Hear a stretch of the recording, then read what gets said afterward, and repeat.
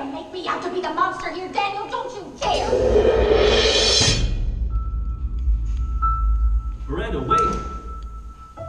No, you always do this. You always turn it around on me. Well, why shouldn't I? I do everything for you. Look at Look at the clothes, clothes.